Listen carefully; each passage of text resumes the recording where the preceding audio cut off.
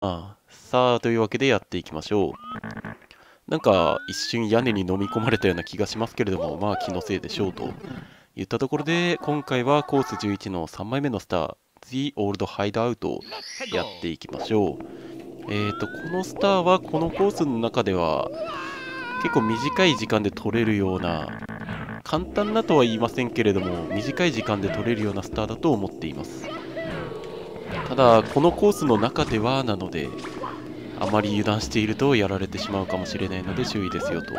で、そのスターがどこにあるのかと言いますと、こっち側に飛んでいくと見えてくるんですが、あんなあったかと。あんなスターあったかと。あれが今回の、えー、The Old Hideout ですね。まあ、シークレットのスターですね。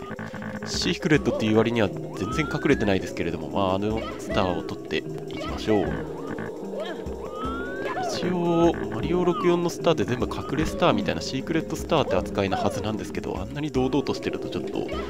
逆にいいですね。なんで逆なんですかね。こっから幅跳びで、ちょっと待ってくださいね。一応全体棒。えっ、ー、と、あそこにスターがあって、見づらいですけど、あそこに足場がありますよと。で、手前にも足場があって、ここにも足場がありますよと。見づらいので、とりあえず行ってみればわかるでしょう。乗ってみればどんな足場があるか分かると思いますんで、まずは乗っていきましょう。危な。で、この上にも足場がありますので、反転壁キックで乗っていきましょう。で、ここからあのスターのある足場、意外と遠いので、ちょっと後ろに下がってちょっと助走をつけていく必要があります。なので、これを一発で決めて華麗に、あ、ちょもう一回行きましょうか ちょっと待ってくださいね。これで下が流差で即死とかだったら、なんかいつもみたいにカット編集みたいなの入れて落ちてないですよみたいな感じにできるんですけれども、多分今回の場合死ぬ場所がないので、落ちた場合でも、そのままなんか柔らかい土に埋まって、またマリオさんがこのステージで舞えるような状態になってしまいますんで、そこがちょっと今までの悪夢とイザナシリーズとはちょっと違う感じがするかなと。即死の床じゃないなっていうのがちょっといやらしいところですね。というわけでもうああもうカットしたいですね。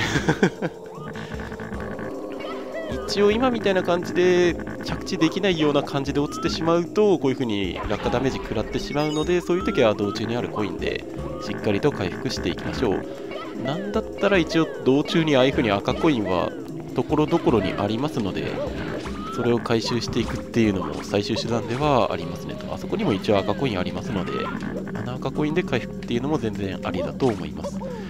というわけで3度目の正直ということで、そろそろ行きましょうか。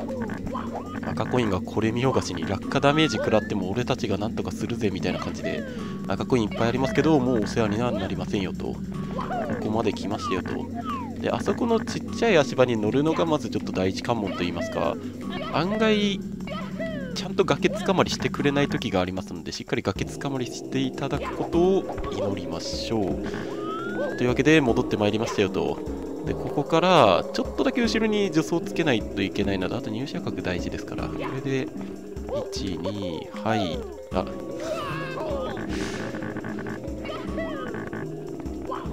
とりあえず、もういいや。とりあえず戻っていきましょうか。の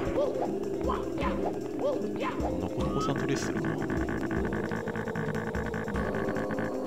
とりあえずダッシュで。マリさんいつもダッシュしてますからね、そういう意味だと。いつも全速力でスターのとこまで戻っていこうとするその勇姿はもう、なんでしょう、あの野球でスリーアウトになった後に外野手が全力ダッシュでベンチに戻っていくみたいな、なんかそんな感じの、なんでしょう、紳士みたいな、成人君子みたいな、そんな感じの、なんでしょうね、スピリッツといいますか、精神といいますか、ソウルといいますか、まあ、そういうのは感じていけるのかなと。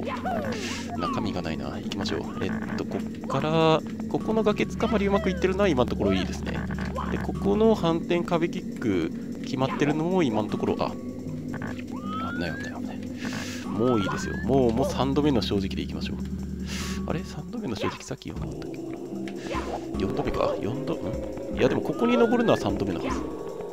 3度目の正直ということで、ここから1、2、はい、はい、